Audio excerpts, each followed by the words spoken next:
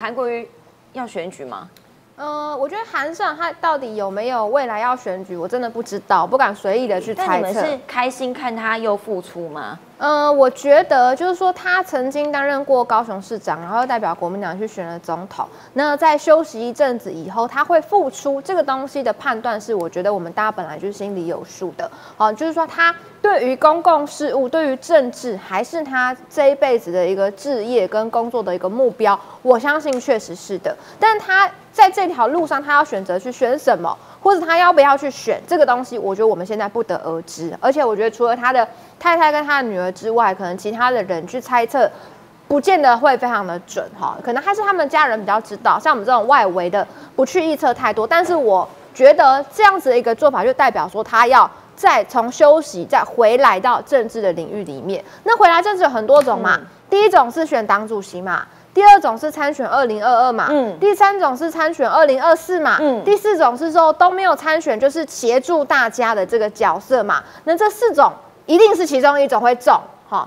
废话，因为我把所有的可能性不一定啊，所以你已经排除了他做公益哦。自己能分析完自己因为你排这四种，你排除了，如果都会这种做公益，就没有这一种。没有做公益就是协助大家，啊 因为你在做公益的时候，你协助大家，其实对于国民党在比如说呃地方上的一些选情，可能就会有一些帮助嘛。因为大家会觉得说，哦，你是在做善事，那他哎可能还支持你，然后就变成你是跟他一起做善事，类似这样说法。像谢龙介有讲说，在台南的时候，文山伯，然后他自己在电。上说文山伯，然后他呢，他们就有一起做公益。嗯，这种东西就是透过公益，那其实会让呃一些地方的民意代表可能在政治的路上得到更多人的认同。所以这是第四种，就是说他虽然是付出了，但他没有打算争取任何的职务。对，大概就是这四种。那他想要帮谁？我不知道他想要帮谁啊，但是我觉得呃，应该是先从，因为他如果不是帮自己，就依照你的说法，应该是有帮某人吧？不，小先生讲的对，他跟你把逻辑少了一个东西。政治人物去做公益也好事，但那是会帮自己的政治生涯加分。化妆或者哎，呈现是个有爱心的政治人物，跟我专心做爱心，我没有其他政治位置的想象，那个像罗少河啦，或者像其他人，所以这两个还是不一样。呃，我觉得跟政治的紧紧密程度还是比较高啦，但是也不见得就是说你对你个人政治未来要想象，他就一定要参与某一种程度的选举，因为其实他曾经参与过这个呃总统大选之后，他的这个在党内的这个位置跟辈分其实就是已经很高了嘛，然后再加上他有很多韩粉支持他，所以他其实以他的这个状况，他。呃，当然，你有位置更好发挥，但没有位置的时候，对韩国瑜来讲，他一样会发挥他的政治影响力。所以我当然不会说做爱心、做公益这个东西是他对于政治影响力这几个字是无欲无求，我不会这样想，我反而会认为说，对，政治就是他想要做的工作，但是在这条路上，他要怎么样去做最后的选择？这个东西我们不知道，可能还要再静观其变。甚至你想说要不要选党主席，这东西也不韩国瑜说了算啊。这其实是江启臣说了算。讲他们，你预测我，我想你你希望韩国瑜选什么？我希望哦，不管是对你有利，或者是对整个国民党有利也好，或者是对台北市选情有利也好，我觉得他现在做的很好，就是他在做公益跟做爱心的过程当中，就是什么都修复他自己的，就是可能之前一些比较负面，然后大家对他有一些呃不舒服的地方。那等到这些都慢慢化解完以后，不管他要做什么，我相信都是很好的。所以就是暂时二零二二不要动，然后党主席也暂时不要动，就继续做公益。但是党主席他会不会去选？我要讲一下，就是他是超支在。江启臣的手上啦，为什么？因为就是说现在赵少康他打算要选嘛，但是有那个一年条款的问题。那呃，韩国瑜又是找赵少康出来选的人，这个韩国瑜他自己也说是这样嘛，所以就是我认为说，韩国瑜会不会参选，其实是看江启臣有没有让赵少康选。如果江启臣最后那个一年条条款解除了，赵少康出来选了，那韩国瑜他不会出来选哈，应该就是不会了。但假如说那个一年条款还在。所以赵少康不能选，那韩国瑜会不会出来选呢？我觉得几率有超过五十趴，我自己是这样看。嗯，因为刚刚赵少康自己受访的时候已经讲说，他一直把他。压到二零二四年去，我我觉得他已经把那个党主席的那个位置，感觉已经要往后调了。传说中都是说没有要改啦，就是包括一些中常委他们的说法，就是说他们不会去修改那一年的规定。所以当然这些知道内情的人就会以说一年这个条款拿不掉为原则，再继续准备自己的下一步。所以韩市长他参选党主席的几率，我仍然认为是在不断提升。对，但是也不是说他一定会选，只是说几率是很明显的增加的。好啊，一半一半，大概跟玩刮刮乐的几率差不多，好不好？但是同一个时间点也真的蛮巧的，这个是。ETtoday 啦，网络媒体做的民调，他们的方式是用手机简讯，还蛮酷的。然后呢，做的是桃园地区十八岁以上，因为为什么要做十八岁以上？因为两年后他们才能投票哦。一千多份的样本数还够，但是是用手机简讯先讲，它可能会影响一些结果。不过现在这个是绿营最可能的人叫林志坚，目前看来民进党他最强。如果去选桃园的话，林志坚对上韩国瑜，哎，反而赢。他赢最多，大概赢十五趴左右，哈。韩国瑜来选，反而输林志坚最多，应该这样讲。然后呢，鲁明哲现在立委来选，差林志坚七趴，然后也输。江启臣也被列在这个民调里面哦，二十八点九趴，输了林志坚十趴左右。然后呢，邱义胜目前国民党的议员也有表态啦，也输了大概十趴左右，哎。议员竟然跟江启臣同等级，然后呢，这个民调里面也做了郑运鹏，啊，他刚刚也在脸书上面回应了这个民调。先看一下数字，一样，哎，也赢韩国瑜蛮多的，韩国瑜对上谁都输，所以他不知道到底要干嘛。然后对鲁明哲，呃，郑运鹏反而输了零点四他一一咪咪啦哈。然后呢，郑运鹏对江启程，江启程也输，对上邱义胜，郑运鹏也赢。这个民调应该怎么看呢？请请教郑浩，因为。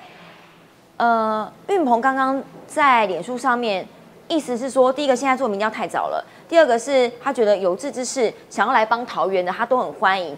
第三点我觉得蛮重要的，他怎么看呢？他说，如果以这些民调看起来，表示桃园在郑文灿的执政之下，已经没有什么蓝大于绿这个问题，版图已经被打坏了。只是如果我假设看韩国瑜好，今天重点还是他嘛，他对上谁，哎，都输最多呢。哎，我先讲韩国瑜是一个可能性吗？先讲韩国瑜哈，你看哦，韩国瑜民调一直没有拉起来嘛，所以韩国瑜也知道说他自己应该进化，应该改变，不能不能再拿二零一八或二零二零的韩国瑜来处理二零二二年的事情。二零二二年韩国瑜可以赢的，可能就只有国民党内的党主席选举。那你如果要拿过去韩国瑜去挑战，不管是二零二二年的县市首长或二零二四年的总统大选的话，那你必须要进步，必须要进化。好了，那韩国瑜有没有进步以后，跟有没有进化呢？有，他愿意花。钱的，他过去被讲一毛不拔嘛，不愿意投资源，他这是确实花钱的，那影片非常精美哦，高级的摄影机哦，五 K 八 G，哎，五 G 八 K 的那个那个规格，那都没有问题。可问题是哦，韩国这一部分可以花钱，当然是一部分，可另外一部分，你看韩国的动作很清楚，包含他帮马英九平反。或者是说跟赵少康做某种程度的结盟，他在干嘛？他在跟所谓的知识蓝或北部蓝，不管叫什么蓝，因为我不太喜欢用这些名词啊。可对于一些他在跟一些某些知识蓝、北部蓝或什么金蓝，不管那些人在做和解的动作，那这些东西呢？你做出和解动作的时候，确实，当你帮马英九做平反，或者是你跟赵少康站在一起去挺赵少康选国民党党主席，确实有帮助。可问题是，他漏算了一点，就是说这些人呢，并不是真的。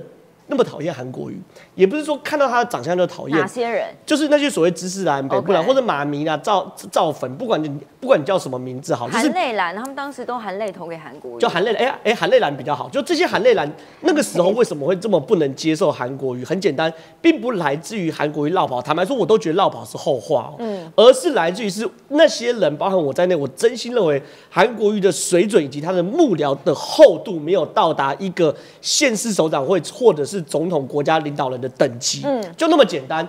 那这个东西，你你你可以透过你在高雄慢慢的执政。柯文哲自己都说，他做台北市市长是做两年后才大概知道台北市市长怎么做。嗯，就他说他很认真，每天朝朝六晚九，然后呢，每一天这样一直一直一直，然后才大概搞了两年才搞懂。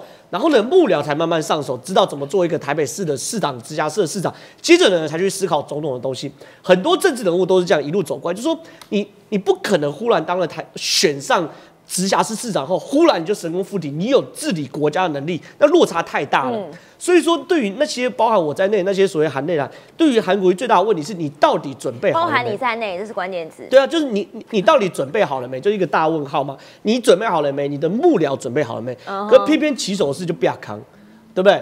莫拉克台风明明二零零九年开始，然后然后说是二十年前的事情，然后不忘初衷的初还写错字，说明他是故意的，这样才有人要但但只要但只要出一个包就好，不需要出出两个包 故意到现在，对一路走来始都终我跟你讲啦，礼拜六的时候我上节目，人家说这个二十年可能是故意，我还相信，因为总要有些爆点。